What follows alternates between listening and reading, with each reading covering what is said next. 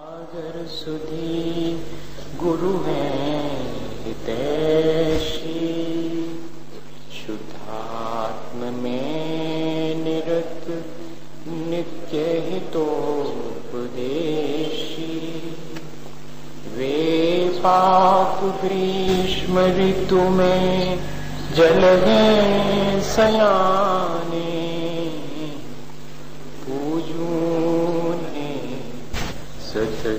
केवल ज्ञान पाने पूजून के सतत केवल ज्ञान बोलिए भगवान महावीर स्वामी की दस्तक्षण महापर्व की आचार्य गुरुवर विद्यासागर मुनि महाराज की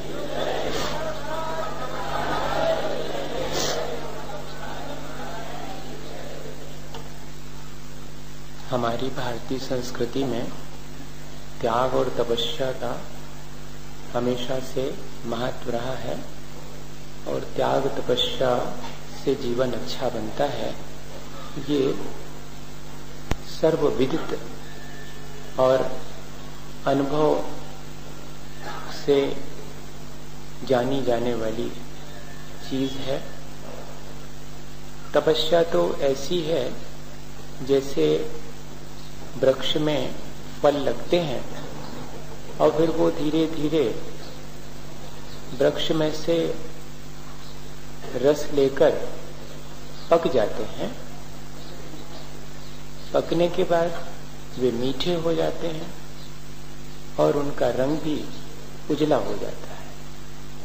तपस्या करने वाले के अंदर भी ऐसे ही उसके वैराग में परिपक्वता आती है।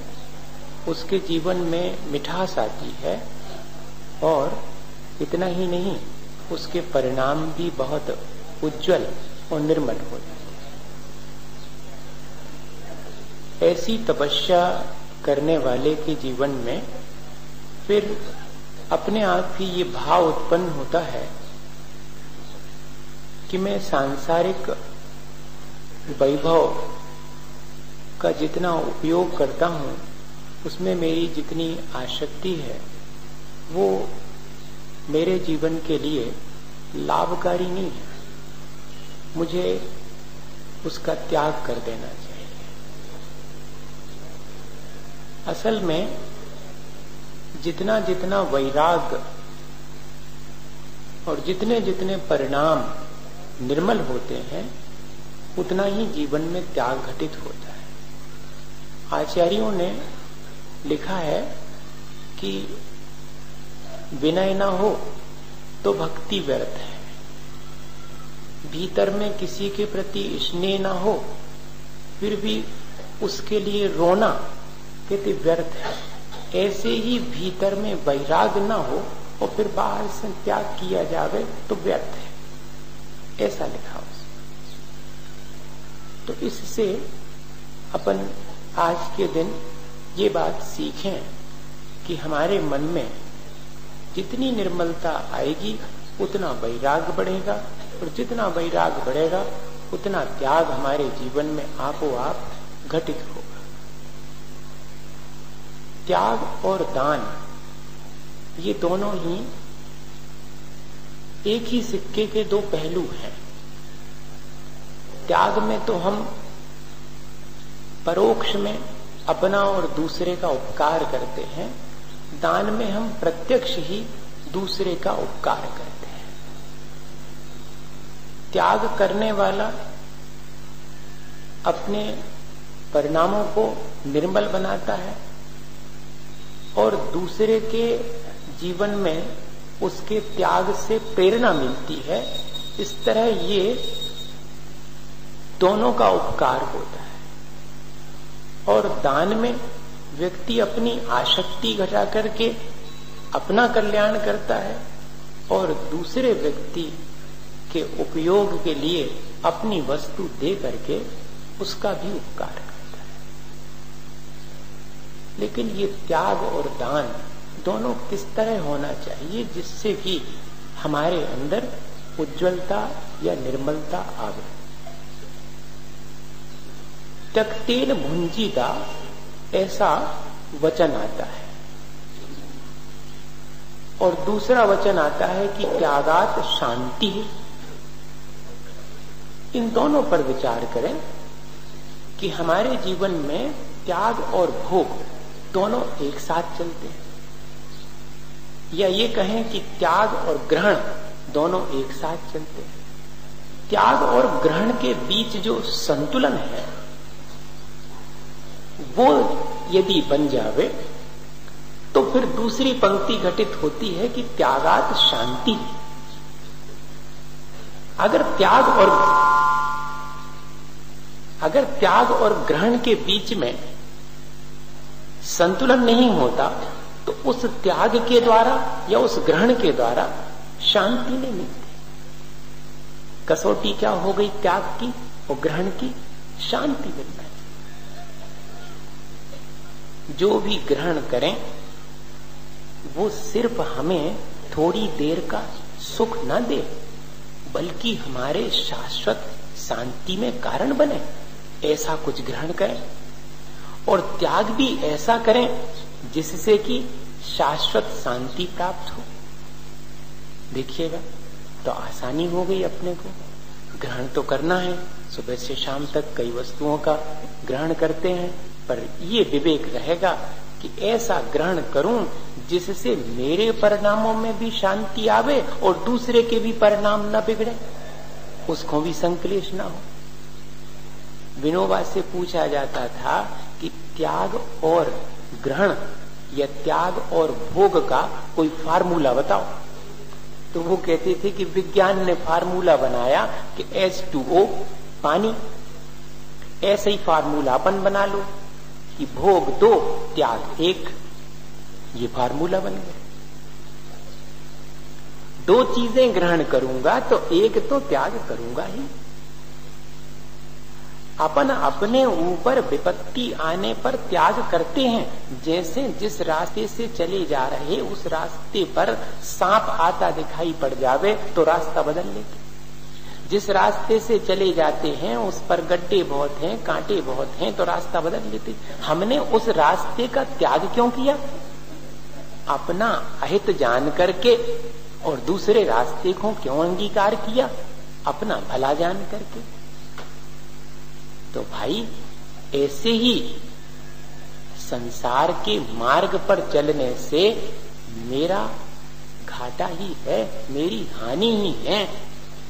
और संसार बढ़ेगा, ऐसा विचार करके संसार की तरफ़ ले जाने वाले मार्ग का त्याग कर देना और संसार से पार लगाने वाले मार्ग में भला जान करके उस पर स्थित हो जाना, इतना सा ही तो करना है। और बाकी जो हम ग्रहण कर रहे हैं, उस ग्रहण के लिए भी थोड़ा सा विचार कर ले। ज़्यादा कठिन नहीं है। देखो, त्याग करना कठिन है क्या? जब हमें कोई चीज़ हमारे लिए अहितकारी लगने लगती तो उसका त्याग कर देते जो भली जान पड़ती, उसका ग्रहण कर लेते हैं। ये बहुत आसान सा है, ग्रहण और त्याग के बीच का संतुलन। अब ग्रहण के लिए और जरा सा देख लें और फिर दान के बारे में थोड़ा सा। ताकि अपन को और बात स्पष्ट हो जाए कि ऐसा कुछ कठिन नहीं है कि हम नहीं कर सकते हैं, हम कर सकते हैं और उसको करके हम शांति भी पा सकते हैं। अभी तक अपन जो त्याग और दान करते हैं, उससे जितनी शांति मिलना चाहिए, उतनी नहीं मिल पाती।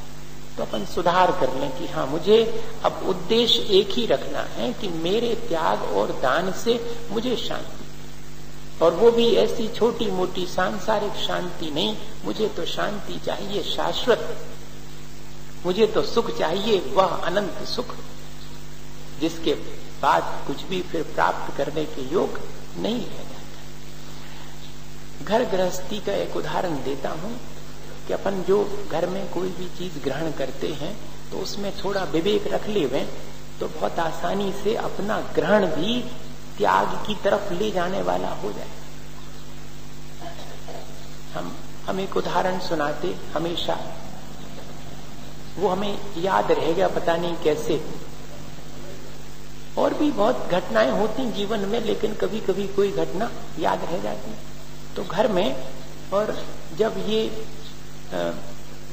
बटरा आता ना मटर फल्ली बटरा तो शुरू में जब आता है बटरा तो महँगा आता है, है?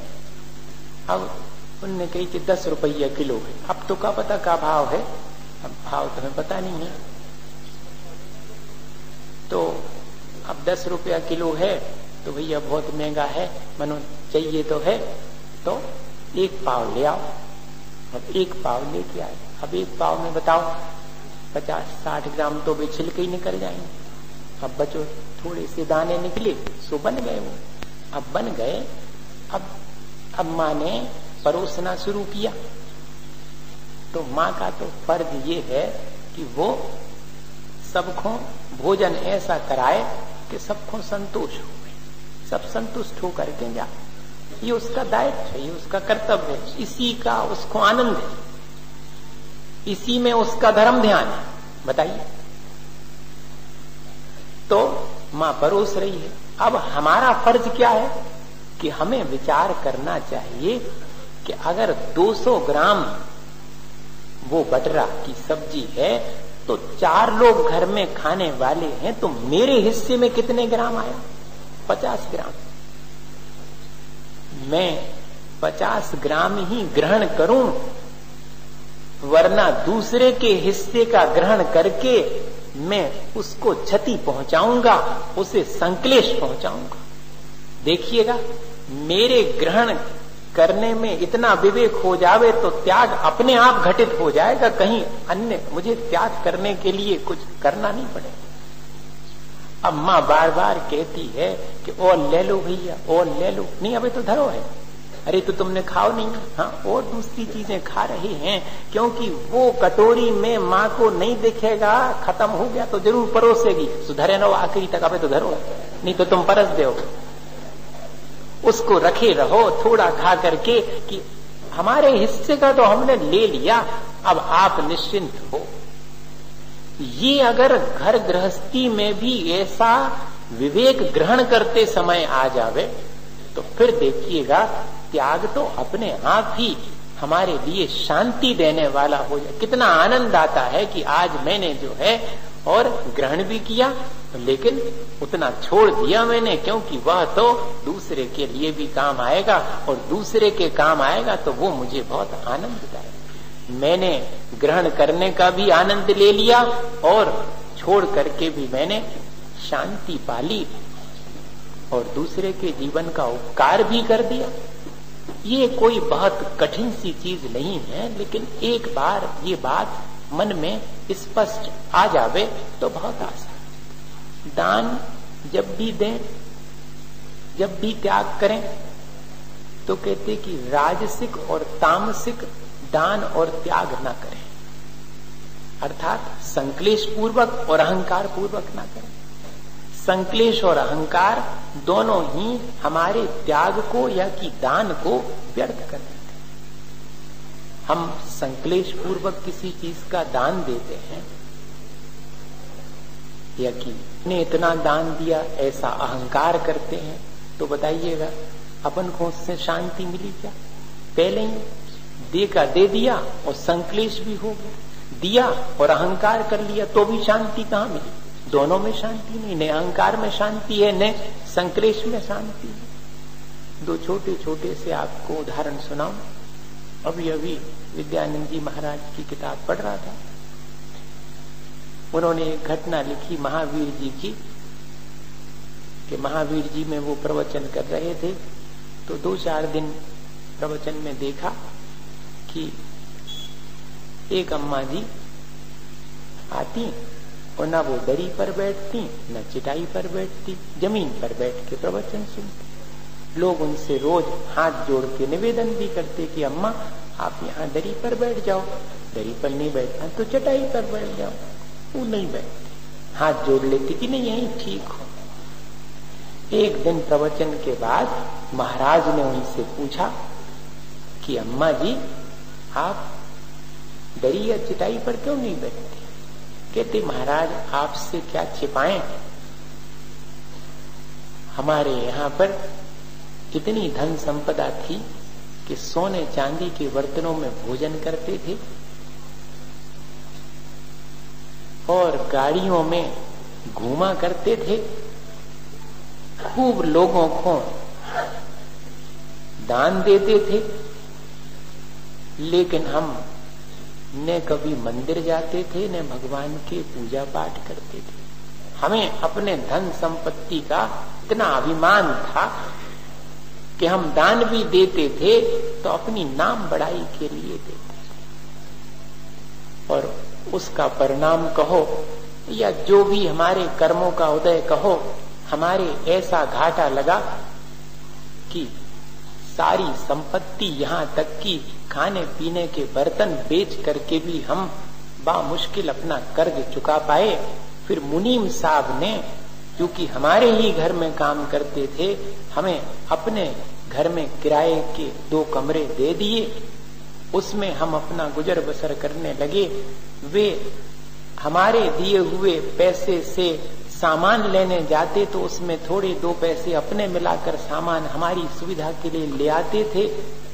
हम उनसे कहते कि आप जो है, इतना सस्ता कैसे ले आए? कहते, हमारी पहचान है, इसलिए दुकानदार ने दे दिया। वे हम पर उपकार करते थे तो कभी ये नहीं कहते थे कि हमने आप पर उपकार किया और हमें उस समय लगता था कि हमने तो किसी पर उपकार किया भी तो कितना अहंकार किया।